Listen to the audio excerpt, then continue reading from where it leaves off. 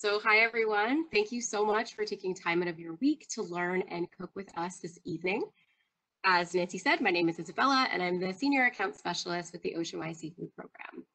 We are so thrilled to be involved in this exciting and exciting collaborative event and highlight some of the ways that we can still make positive impacts, be part of a global movement, and enjoy delicious, sustainable seafood in a safe and COVID-friendly way. So I hope you guys are hungry.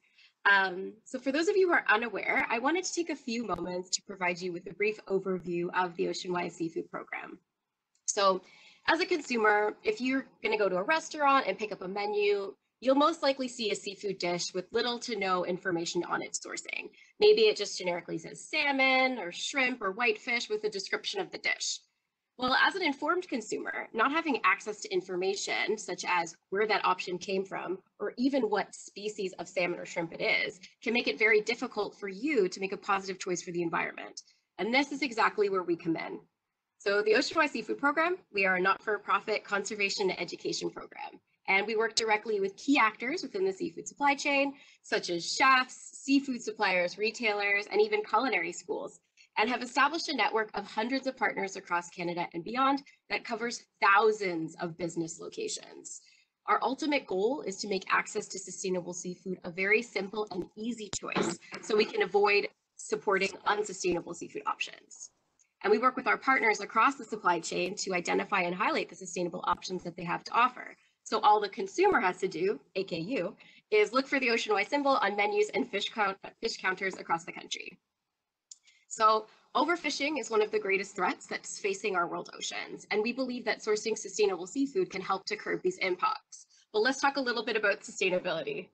Uh, so Oceanwise recommends both farmed and wild seafood options, and we consider sustainable seafood to be seafood that is coming from stocks that are healthy and abundant, well and adaptively managed, and has limited impacts on the surrounding environment and other species.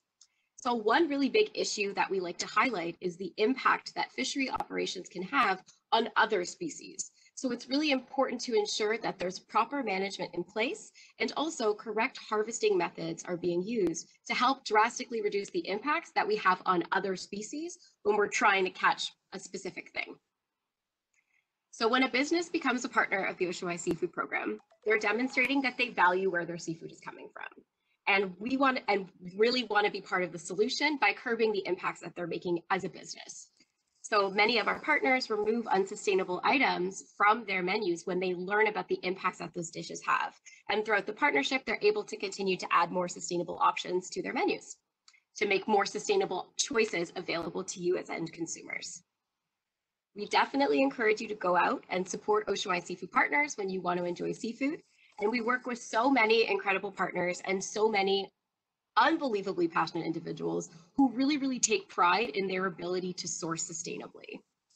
Live Green and Fresh City have been fantastic partners of our program for many, many years, and they do an excellent job of utilizing their platforms to educate their staff, consumers, as well as their audience about why it's important to care about sustainable seafood and ensure that we're curbing the impacts that our purchasing decisions have on ocean resources. And working closely with partners like this really helps us to ensure that together we can all continue to move the sustainable seafood movement forward. So Live Green approached Ocean Wise Seafood for this collaboration because we're currently running our national fundraising event, which is the National Chowder Chowdown Festival across Canada for the entire month of festival, for the entire month of February. Uh, this event is a really fun way to support local businesses, help raise money for our not-for-profit program, and also find new businesses that will help you as a consumer support sustainable seafood. So we have over 50 participating locations across Canada that are selling 100% sustainable seafood-based chowder. So each business is actually uh, recuperating the cost of producing the chowder, and they're adding a donation portion on top, which will go to support our program. And we are so proud of the dual purpose of this program, of this fundraiser, because we're encouraging consumers to prioritize sustainability, but we're also encouraging consumers to support our amazing partners during this extremely difficult time for the hospitality industry. So if you would like to learn where you can purchase your chowder, including one that was created by Fresh City and is available right now, uh, please go to ocean.org slash chowder and there's a participant map where you can find a bunch of different businesses that are involved and we guarantee that it will be an absolutely delicious experience. So we're going to jump right in. And now I just want to do a quick introduction for Chef Lorraine Hawley. Um, so growing up in an Ontario farming community, for Fresh City Farms Chief Production Officer, Lorraine Hawley, a love of baking, cooking, and fresh food came naturally. A career in food, however, took a longer path. After almost 20 years in sales and marketing in Toronto, Lorraine left the corporate world to follow her passion. Together with her husband, Lorraine opened Mabel's Bakery in 2008. Mabel's became well known for high quality traditional baked goods and prepared foods. Lorraine and her husband sold Mabel's to Fresh City Farms in 2018, thrilled to have found a company that shared their passion for tasty food and the local farming communities. Today, Lorraine is responsible for a team of 60 who make the wonder who make the wonderful house-made products for Fresh City Farms, Mabel's Bakery, and The Healthy Butcher. Lorraine, take it away. Hi, everybody. Thanks so much for joining in today. Very excited to share with you this recipe. It is fairly easy to do. It is delicious. It uses sustainable seafood, and it's a very versatile recipe, which we'll talk about as we get rolling. And I think I'm a bit echoey. We'll soldier on.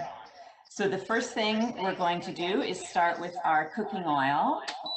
And I've chosen a coconut oil because this dish is all um, is based on coconut milk and just thought that would marry well. It's also a great oil for cooking. And I'm just going to warn you that we're going to get a little bit of, of a buzz from this induction burner, but I'm told that you will soon not hear that in the background. So we start with three tablespoons, very accurately measured, of an organic coconut oil.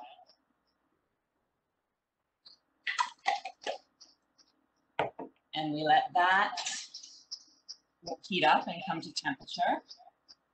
I've prepped in advance a few things, and if those of you are following along, uh, this was part of the initial instructions.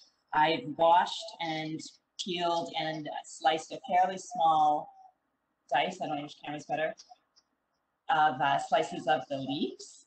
Um, these are beautiful organic leeks that are fresh. I adore leeks, so I always have some old ones uh, tucked away at the back corner of my fridge. Uh, in this recipe, because we're going to sweat these out and soften them up, you can use uh, any old sad leek that you have kicking around. It was about three leeks, and it makes just over two cups that I've got here. Uh, just going to be another quick minute to melt this oil, get that hot enough. Um, just one note on the leeks. I'm sure everyone knows to uh, give them a good wash. And the older the leeks are, the more the sand uh, sticks into them. So it's nice to give them really good soap, then rinse them. I like to do it after I peel off the outer layer and then uh, do that after I slice them because then the water can get through and get through all the little bits. So my pan is hot enough. We're going to put in our leeks. Toss those around just to get coated in the coconut oil. And one of the other things I prepped was my piece of ginger. I am not the biggest strong ginger fan, so I'm keeping my piece full and I'm going to fish it out afterwards. But we're going to throw it in with the leeks just to infuse the flavor. If you really love ginger, feel free to mince that up or finely slice it or cut it into little sticks, whatever turns your fancy. And if you're more like me, you just have to remember to fish that out at the end or someone's going to get a um, very funny tasting piece of potato. That must smell incredible. I'm just going to put the lid on that and let that sweat out a minute and maybe this would be a good time. We probably need two minutes for uh, Isabella to talk to us a little bit more about sustainable seafood and how people, obviously you can get it at Fresh City if you're in the Greater Toronto area and at all of our uh, grocery locations as well as online, but how, Isabella, can people find uh, sustainable seafood and be sure of what they're getting if they're outside of the area or happen to be in another uh, fishmonger, grocery store, etc. Yeah, happy to provide more information. Obviously, Fresh City is a fantastic place to get sustainable seafood. They have uh, quite an extensive list of sustainable seafood options that are available. Uh, but we work with a lot of different partners across Canada, whether that's chefs who are designing menus or retailers with fish counters. So for those of you who are looking for sustainable seafood options to choose from, I definitely encourage you to go to our website, which is seafood.ocean.org. Um, and you can check out our partner map. So on our partner map, you will find all of our different partners across Canada available easily. Um, some honorable mentions, if you're looking for a fishmonger in the key dots, I definitely recommend Delamere. They are a fantastic partner of ours and a huge supporter of sustainability. Um, a couple other ones, if you're looking for smaller retailers, obviously Fresh City has retail locations.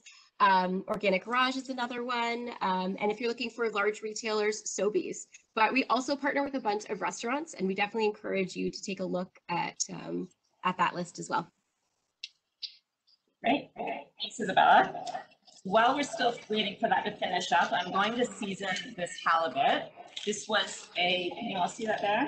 This was a pound of halibut uh, that was frozen that I got from Fresh City. Um, I let it, I brought it out of, I happened to be home today, so I brought it out and let it thaw on the counter. It took about a little under two hours to thaw completely and I threw it back in the fridge. I'm, um, in lieu of making one of my tea towels smell like fish or using paper towels, I've just used the paper bag that my potatoes came in. So the only seasoning in terms of salt and pepper that this recipe calls for is on the fish itself. So I'm gonna be reasonably jealous, or generous, not jealous, jealous of the salt, I guess. With the salt and pepper. Got about two teaspoons of salt. And I'll do about a teaspoon of pepper. I'm gonna freshly grate and then we'll just let that sit while we do the rest of our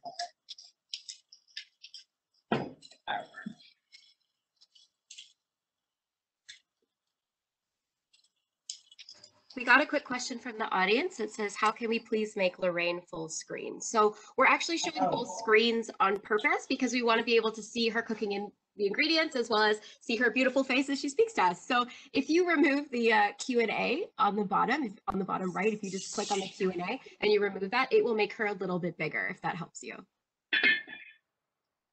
That's sweet that you want to see more of me. So our leeks are looking pretty good. Now we're gonna throw in our garlic. I know that some uh, people in the industry don't love this stuff, but I think it is a game changer at home. And I love garlic. So this is pureed garlic. You can feel free to use uh, fresh, obviously. It calls for one tablespoon. I'm gonna make that a heaping tablespoon because I love it. I'm going to add in a teaspoon of turmeric.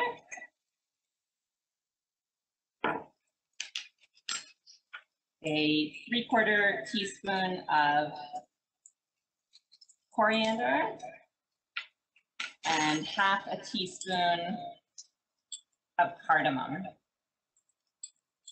And the only uh, seasoning I'm going to be a little bit more fussy with is the cardamom. I don't want to be too heavy on the cardamom or it'll start to taste a little bit more desserty than. We're just going to toss that in to coat all of our leaves.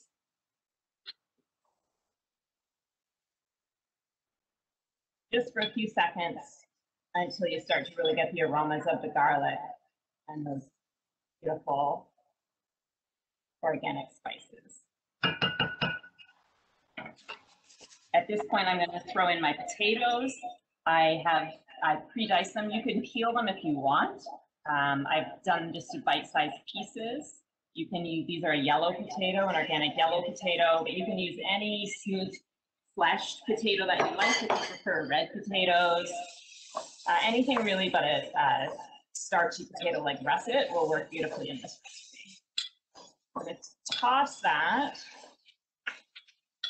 So the potatoes also get coated.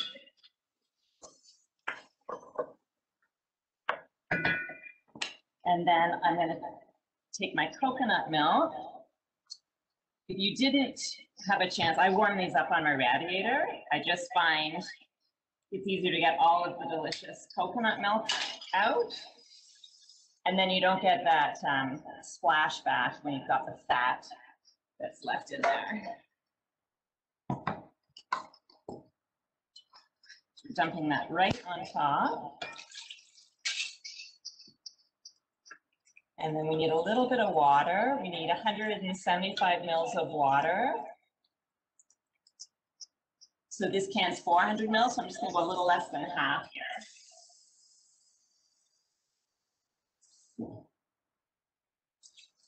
That right on top.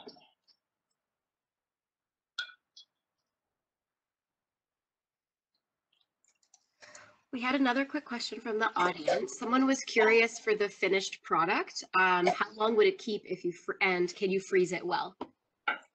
So I wouldn't make this dish expressly to freeze, um, but it, it will freeze for sure. It'll last in your fridge two to three days.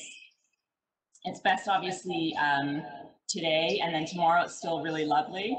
And then your fish will start to be just a little flaky and then eventually it'll go off. But yeah, two or three days in your fridge after you've made it. You can definitely throw it in the freezer, but I wouldn't, this isn't a recipe that I would make a giant batch of and stock my freezer with.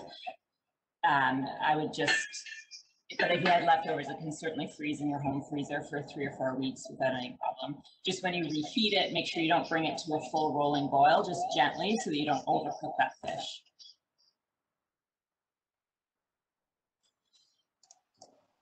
Thank you. So I've covered up my pot and we're gonna let those potatoes cook out. And I've got a couple of beautiful crisp organic celery stalks that I've washed. Just gonna hack off these ends. So you can save those for stock or nibble on them later. And We're just gonna thinly slice these. Now, I was saying with the leeks, that you can use the old leeks or onions that are hanging out in your, the, the bottom of your fridge, but this celery is almost more of a garnish at the end of the dish. We're gonna cook it a little wee bit, but you want it beautiful and crispy and crunchy.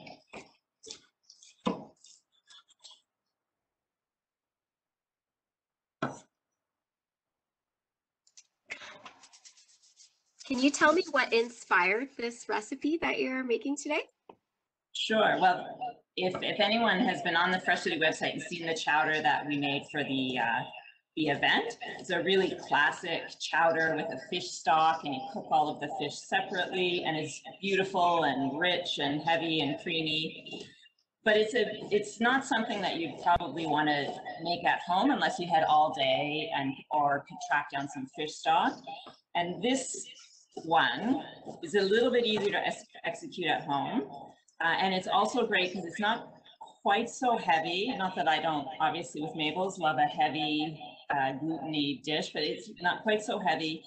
And it's, it's gluten-free, it's dairy-free, so it's a great option if uh, you don't love dairy or dairy doesn't love you or you're having guests who are dairy-free. And you can execute this in 45 minutes after, you you know, after you get home from work or at the end of the day when you're just figuring out what you're going to be cooking. So that's why I chose this recipe for the demo, um, the, the, as opposed to the classic one, which is which is lovely. It's a little bit more complex and a little less of a of a weeknight or accessible kind of meal. Well, I'm super excited to try this one after this. um, and I can also speak to the uh, the the Fresh City Chowder because I had it the other day and it was incredible. Seriously, everyone should go out and buy one. I'm just like, I'm not just plucking my own feathers here. I swear. No, it's delicious. It definitely falls into the the treat. Like it, that and a little piece of baguette and a long nap is perfect. Lorraine, This one, I love this recipe. It's, it's very versatile. You could make it with shrimp. If you didn't have the, use the potatoes, it makes a beautiful base for mussels. Um, you could throw any type of fish in there. Actually, speaking of which, Isabella, um, if you might want to chime in on some great sustainable options. Um, we've used the Afishionado halibut, um, but there's lots of other great fish that would, would be perfect in this dish. Yeah, there's a lot of really sustainable options out there. At Oceanwise, we have over 1,300 recommendations for different seafood items, and that's different species and gear types and regions. So that just kind of dips your toe into the complexity behind seafood, which is the most complicated food system in the entire world. It's a fun fact for you to drop at your next post-COVID party. uh, and your halibut is definitely an excellent sustainable seafood option. So um, this is an option that's coming from Atlantic Canada, like you said, Afishionado, incredible fishmonger uh, based in Halifax. Um, and this comes from a fishery that is very well managed and also extremely healthy.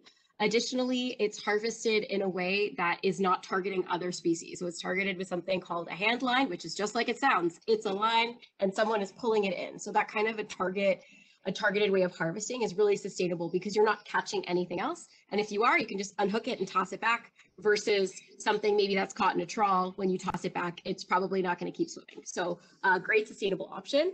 Um, there's also a lot of great uh, shrimp options out there as well from Atlantic Canada, like northern shrimp. They're the tiny little cold water shrimp, um, but they're really, really delightful uh, and fun to cook with. Um, but in Canada, we're, we're so fortunate that we have three coasts to play with, and there's just so many sustainable options that are available in our country, um, as well as even in Ontario. We have one of the world's largest freshwater fisheries, and everybody thinks Toronto's landlocked, but we have so much exceptional lake fish that you can get locally in Ontario that I definitely encourage you guys to to start thinking about as a really good option that you can be purchasing at home.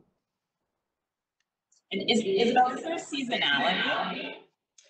Oh, man. to fish in Canada? Uh, yes. So there is definite seasonality with different fisheries. Sometimes it's related to regulation or migration patterns. Um, and even I remember when I started at Oceanwise, we tried to create a document to represent seasonality for lake fish in Ontario, and it was close to impossible. So that, that's all I'm going to say for that. It has to do with access and when the boats are out there. Um, so I don't have a simple season that I can tell you generally for lake fish.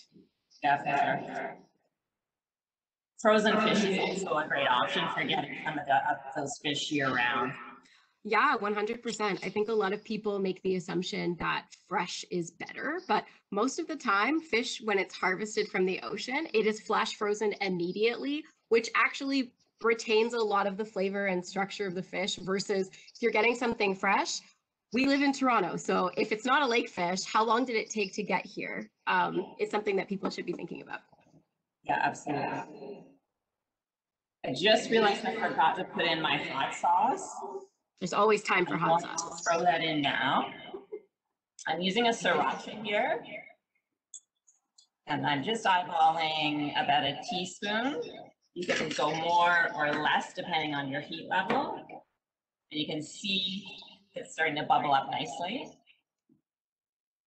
We have lots of lots of options for hot sauce. You can really use your favorite. Mabel's has a beautiful one that's not quite as hot as this. It's lots of flavor you'd want to avoid um, a real like a Tabasco or a uh, Frank's Red Hot because just the, the vinegary aspect of it is something that you don't want to really introduce to the dish. But any of your favorite uh, hot sauces will work beautifully here. And can you tell me a little bit about why you're so passionate about cooking with sustainable ingredients? I- mean, I think the sustainability is important to me. It always has been growing up, sort of the way we grew up and making sure you used everything and you um, recycled everything you could. And obviously, growing up in the country, I was a little bit more exposed to that.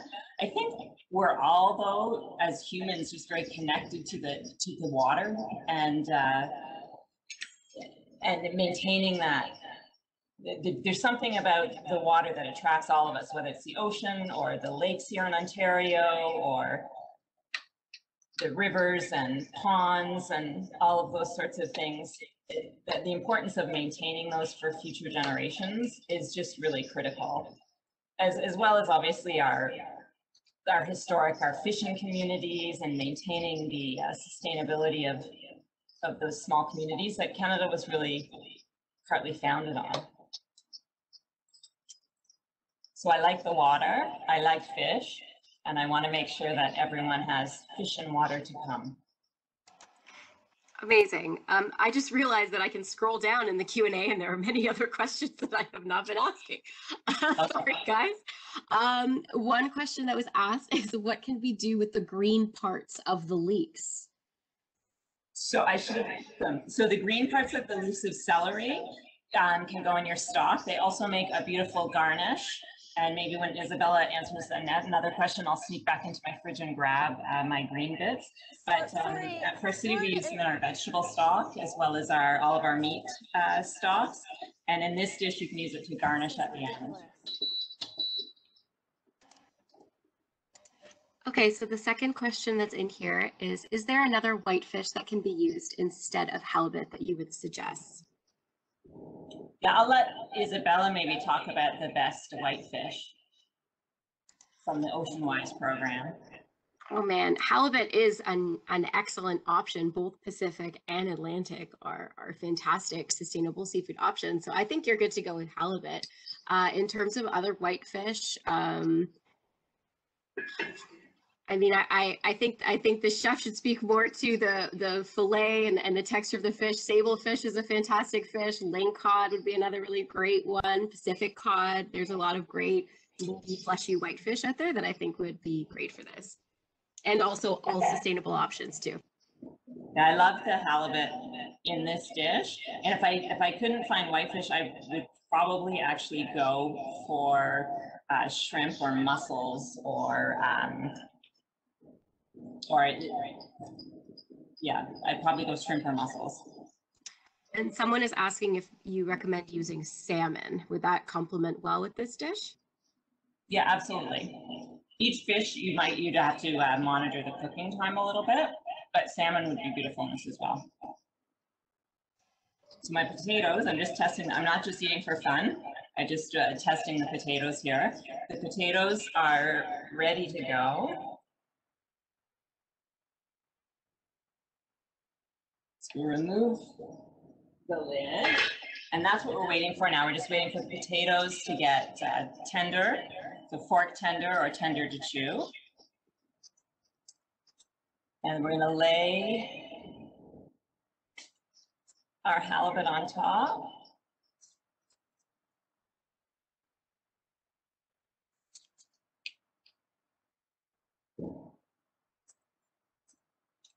Use our ladle push it down. Just to get everything cooked nicely.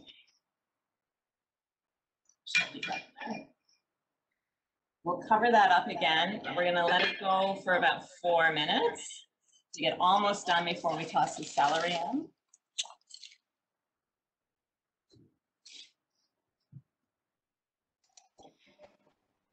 Is there anything that you could substitute for one of the cans of coconut milk? And you could obviously use actual, um, I'd probably use 18% cream, like a coffee cream. Um, you could use a cashew milk, an unsweetened cashew milk. Almond milk, I think, would be a little bit thin. Um, yeah, I, I would, if you, if you like cream and can tolerate cream, that's always a good option. Uh, you could also, you could do a fish stock, but you won't get as much creaminess as uh, as we currently have going on. But if, if you're trying to avoid dairy, the cashew milk would be nice, or go with 18% cream. Or whole milk if you're trying to avoid drinking 18% cream. Like That's fair. um, there's another question here. Um, if you want to use clams, what kind of fresh clams would you use? Or would canned clams be a better option for this dish? I would definitely use fresh. Um, just give them a really good scrub and throw them in. The same with mussels. I would I would definitely use fresh. You could you could use canned in a pinch. Um, and I would even probably throw the juice in just to get some extra flavor. Um, but I would go with fresh clams, give them a really good scrub and throw them in and just uh, cook them as if you were cooking fresh clams any other way. Mussels, same thing, a really good scrub, toss them in, give them about five minutes till they open up, and then use your shells to scoop up the delicious uh, soup. That definitely sounds like a good time. and uh, just a quick sustainability plug too. Uh, bivalves, which are the shells that kind of open and close, like clams and mussels and scallops, are all exceptionally sustainable options that we definitely encourage consumers to enjoy. Um, they're really great because they're something that you can farm in a very, very low impact way because they're filter feeders. So you don't need to feed them anything, which means you have zero inputs for a positive protein output. So when you're thinking of issues of food security and how are we going to feed so many people, these are the types of things that we want to invest in to ensure that everybody can have a yummy and sustainable meal. Great, thank you. That's good to know because that is one of my favorite seafood options for sure. And super affordable too. Yeah. So my favorite part is coming up. I'm just gonna taste for seasoning. You could do it with a spoon if you wanted. And obviously, if you have any issues with flour or any guests who can't eat gluten, you wouldn't want to do this, but I just dunk in a little bit of a Mabel's baguette. Bread is always better than a spoon. For sure. That's good. It doesn't need any more salt and pepper. There's so much flavor happening in this dish that you can really keep it fairly low sodium. And I think the heat is pretty good too. So let's We have- throw our We have. Oh, sorry. Sorry, that's gonna give it a little color. You could also use, if you're not a big celery fan, you could use um, bell peppers, which would also be beautiful. Instead, you just wanna give a- the dish a little bit of crunch. So we're gonna give it a couple more minutes, partially covered. Just Soften up those a little wee bit. And I'm gonna more celery.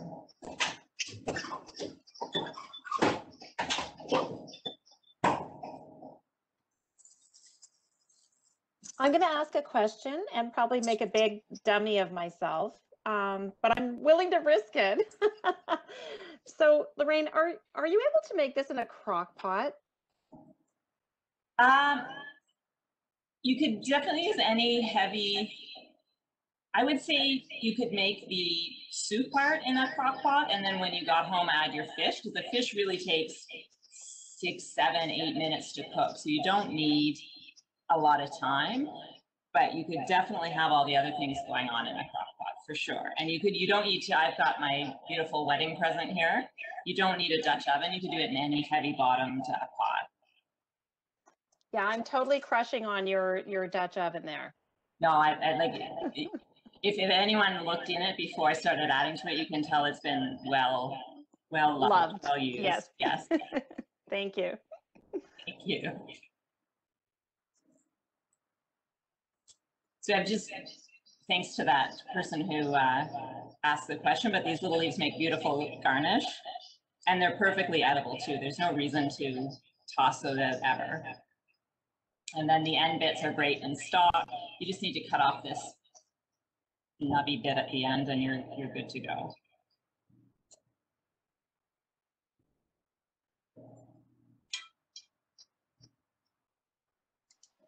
I had someone ask about using evaporated milk for this recipe. Uh, You, you you could do that theoretically, you'd have to just water it down. I would stick with, uh, I, I, I wouldn't use, I, I would say I would not use evaporated milk. You could do it in a pinch, you just water it down to get it more to the consistency of, of milk or of whole milk or heavy, or not quite heavy cream, but a coffee cream. But I, I think it'd be a little bit viscous.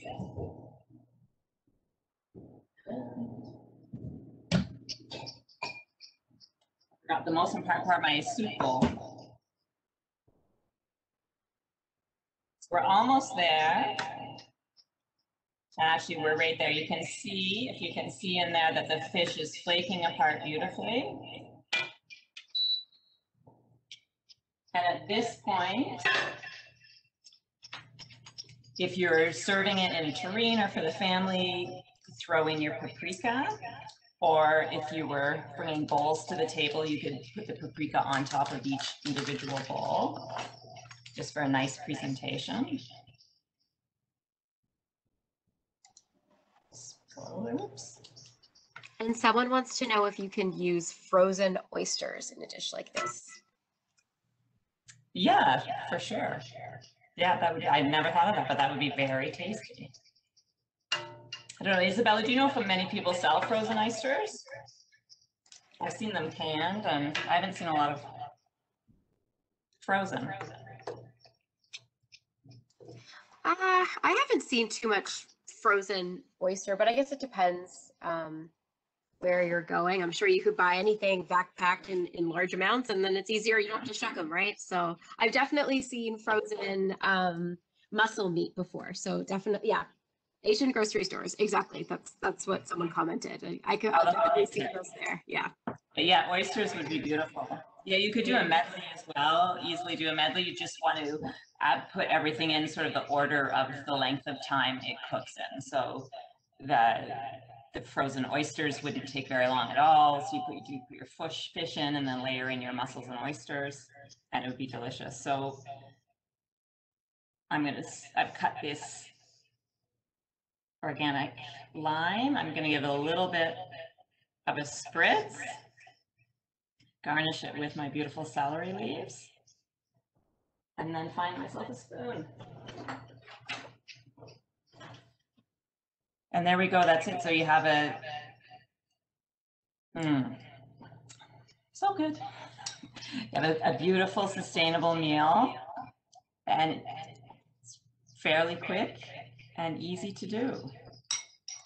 That was super fast. Someone is asking if you can hold the bowl up to the screen so Ah. everybody can see it. On the screen. Ah, There you Oh, go. that's good, I think. That's incredible how fast that was put together. That looks amazing. Yeah, yeah, yeah. So the prep that we did, the potatoes and the leeks, that took maybe, maybe, you know, ten minutes to throw that together. So the whole thing comes together in about forty minutes. Which is great. It, it- it tastes like a dish that's been sitting in your crock pot or been on the stove all day. I'm gonna hop back on the screen here and maybe we can get started with the Q and A session. Um, so if anyone has, oh, sorry. sorry, sorry, it's Jessica. I'm sorry to pop on again and interrupt, but um, we're, I'm wondering if it might be helpful to turn off um, one of the cameras and log off. And the only reason why I say that is that might help the um, feedback situation. Yeah, yeah. Okay, perfect.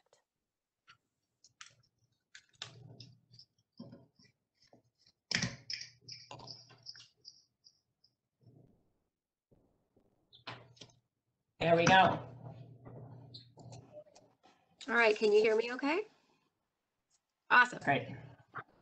Okay, so we did address a bunch of the questions, but there was one that was tossed in here that I wanted to chat about briefly because it would take a little bit longer to explain. So this is one for Ocean Wise.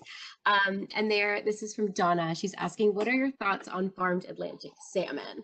So for the Ocean Wise Seafood Program, um, the great thing about seafood, like I mentioned before, it's one of the most complicated food systems in the entire world. So there is Atlantic salmon that we do recommend, and there's Atlantic salmon that we don't recommend. Um, for those of you who are not aware, there is no commercial fishery for Atlantic salmon in Canada. So if you are purchasing Atlantic salmon, it is farmed. However, there are some really excellent sustainable ways to farm salmon that are on land. Think of it like a massive aquarium. They're called land-based closed recirculating aquaculture systems. And the reason why these systems are exceptional is because they're closed off from the surrounding environment. So it's complete control within that system. They grow up the salmon, and once again, because there's control, they don't need to worry about using chemicals or antibiotics because they're not open to the outside environment. Also, there's no interaction that could potentially happen with predators within that area. There's no effluent, which is our nice sciency way of saying fish poop that's going out into the uh, natural environment. And also the effluent is often repurposed for things like agricultural farming. So that means you're farming in a really, really sustainable way. And it's there's actually a few facilities in Atlantic Canada that do land-based closed recirculating um, salmon, such as Sustainable Blue, as well as Cape d'Or. So there's some really excellent practices like that.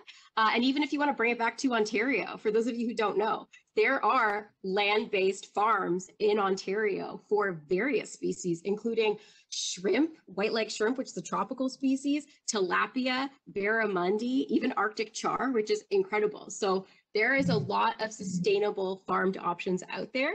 And I encourage you to, to learn more, look for the Ocean Wise logo when you're confused, and just be comfortable to ask questions. Because even if there's no information on the sourcing, asking the question is telling that business that that's something that they should start prioritizing in their practices, just like Fresh City Farms does.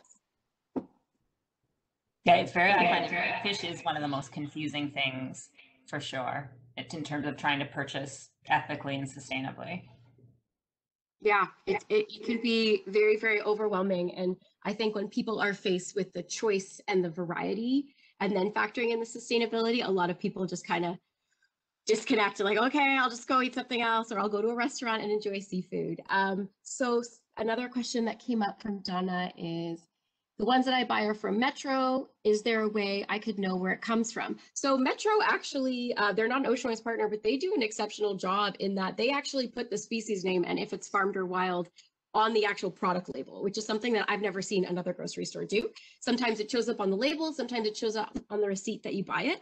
Uh, in terms of grocery stores that we do partner with, I did mention a couple of like the smaller scale ones, like you have the Fresh City on-site um, grocery locations, Organic Garage, uh, the Big Carrot, Sweet Potato. Those are some of the ones in Toronto. But we also have a national partnership with Sobeys, who is a pretty big grocery store. They're everywhere. Um, and they do a really good job of labeling all of the options in their counter. And their staff are also trained in Ocean Wise, so they'll be able to talk to you about it. Uh, questions. What about sardines? Yes. Okay. So sardines, I think we recommend like one sardine fishery at this point, unfortunately. And that just has to do with the nature of that type of forage species because they grow like in boom and bust cycles. Like one year there's 20 million of them, and one year there's 40 million, and then they crash or they go down and then they grow up again. Um, and the other thing about sardines is they're actually a really important species for a lot of creatures in the ocean to eat. So us impacting those populations, like we have to be very, very careful when we do that. So I think there's one MSC fishery in Australia for sardines that we recommend. However, not as salty, very different, but we do recommend rainbow smelt that's coming from the Great Lakes, which is also a more local option. So if you want to get a little bit creative, that's uh, that's something that you should think about too. I didn't put smelt in this dish, but it's one of my favorite. We grew up smelting in the rivers. Yeah. Oh, So good. Amazing. So good. That must have been a really cool experience. Yeah. Okay, I don't see, just double check I didn't skip any questions here. I think we're good. Um, I see MSC more regularly. What's the deal with MSC ratings? Are those good? So excellent question. MSC is the Marine Stewardship Council, and they are a certification program. So they are very different from what we do. We're a recommendation body. Think of us kind of like an umbrella. Like we have a standard that we follow for sustainability, and we recommend a bunch of different things, including MSC. So MSC is actually working with third-party auditors who are out on the boats doing the certification for these fisheries to maintain their sustainability. Um, and in terms of purchasing sustainable seafood, I definitely encourage you to use something that you're comfortable with. Look for the MSC logo. ASC is another one. That's the Aquaculture Stewardship Council, which is the farming counterpart, which is a much higher standard for farming, which is really great. Um, and then, of course, Ocean Wise, like as long as you're looking for something that's reputable and third party, sometimes businesses will put something generic like responsible and have a fish on it, and it doesn't actually mean anything. So just be mindful that the word sustainable and responsible, they're very malleable terms that a lot of businesses use. So just think about the legitimacy behind those claims.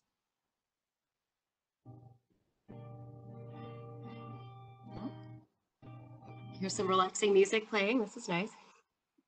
Oh, my husband has obviously tuned out to the fact that I'm doing this right now. It's perfect. It's very ambient. I like it. My cat is also meowing. But what about anchovies, Isabella? Is there anything in the world of anchovies? Must we be anchovy free forever?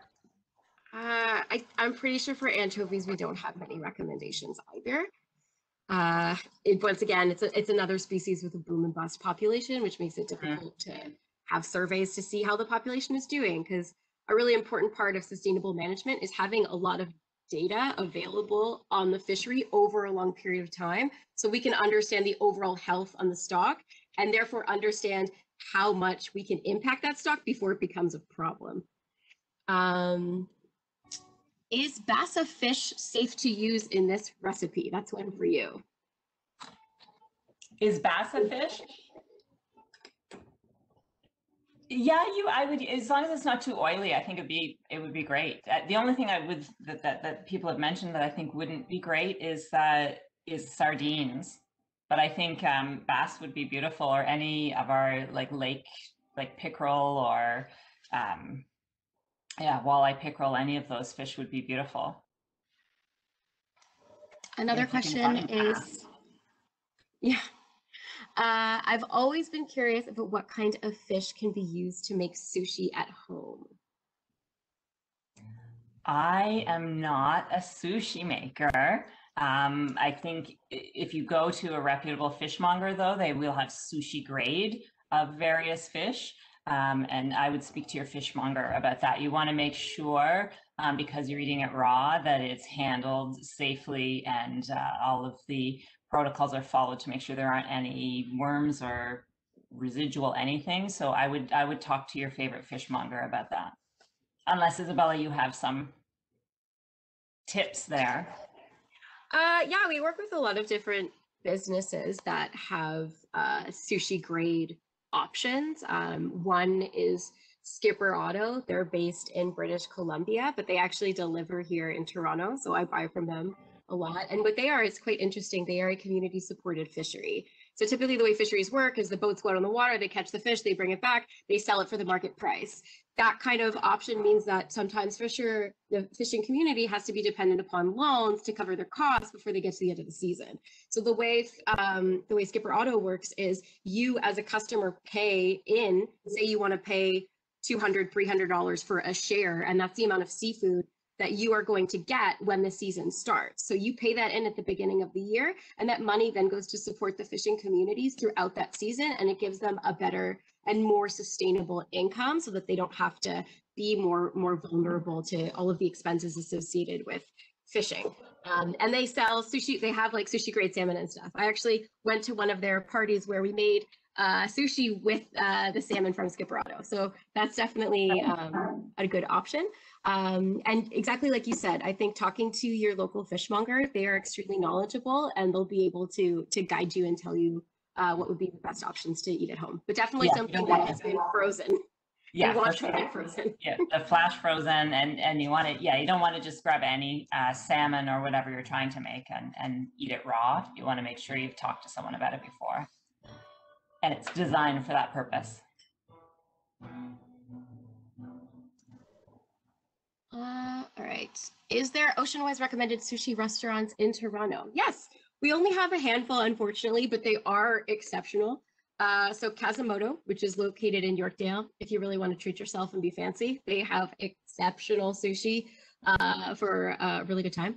Um, we also have Hapa Izakaya, which is on College Street. They also do uh, really, really fantastic sushi rolls. Um, and the third partner we have is a little bit more high end as well, and that is Miku Sushi. So there's two locations for Miku. There's one at Toronto and one in Vancouver. And the one in Vancouver actually won, I think, top five best sushi restaurants in Canada or the world. It was something really high. I should remember that, but I don't. Uh, but that just goes to show how good it is. And they're really famous for uh, a, a type of sushi where they blowtorch the top of it, so it's just slightly cooked, uh, and pressed sushi as well. Oh, so good. Now I'm hungry again. That sounds delicious. Mhm. I'm glad I have my soup. Yeah, you have something to hold you over. Um, there's another question here, and it says, does it mean that the fish is healthier to eat as in less toxicity? Um, so when it comes to toxicity in fish, the Ocean Wise Seafood Program, we base our recommendations on the most available science for the sustainability of fishery and aquaculture. So we actually are not nutritionists and we try to avoid speaking to things that are beyond our the scope of what we do. So we definitely encourage anyone who's interested in issues related to toxicity in fish or bioaccumulation of chemicals to talk to a nutritionist. Uh, there's a lot of great resources. Um, I think on the Canadian government side of like nutritionists. Uh, so I'm sorry, I can't really speak to that anymore. I, yeah, I, I got the fish news. I got the scales. I got the gills. All right, there's lots of other stuff coming in here. Not a question, but oh my God, this chowder is so delicious. It's from Mark. It is so good. Uh, and then we have another question from Margaret. Where would you like us as consumers to throw our financial support towards? Who needs our dollars? Well, obviously, like I mentioned, go to our website, seafood.ocean.org. You can go to our participant map and you can look at all of uh, the partners that we work with. We work with a lot of different types of businesses from independent chefs, caterers, culinary schools, restaurants. I definitely encourage you to support restaurants during this time. Obviously, the Chowder Festival is one of the ways that we are trying to do that. So please also check out ocean.org slash chowder and you can learn about all of the different participants that are involved in the event. And maybe when you order a chowder, you can also order a bottle of wine or order some apps and amp up your order so that we can continue to support the hospitality industry while everything remains shut down.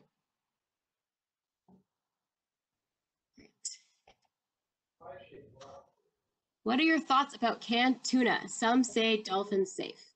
Okay, so the way that they used to catch tuna um, is called, well, I, some still do, it's called dolphin set purse seining, which is where dolphins will be jumping over because they are eating a school of tuna. The boats would then see those dolphins and then take a purse seine net, which is a net that wraps around a school of tuna and has a drawstring at the bottom to pull up. And they would indiscriminately also catch all of the dolphins in that association. So that was detrimental to dolphin populations for a very long period of time. They have put laws in place. So when you see dolphin safe tuna, what it means is there's an onboard observer making sure that the way they're harvesting that tuna, that they're not impacting dolphins or as many dolphins. Um, yeah, so that is, that's what that symbol means. So definitely, if you're buying tuna, please at least look for that symbol. Uh, we definitely also recommend pole and line caught tuna, which is individuals on the back of a boat with a with a, a pole, literally catching it one at a time. I honestly hope that you go to YouTube and look it up because it's so entertaining. Uh, and it's it's very surprising to see how quickly they're they're catching them one at a time.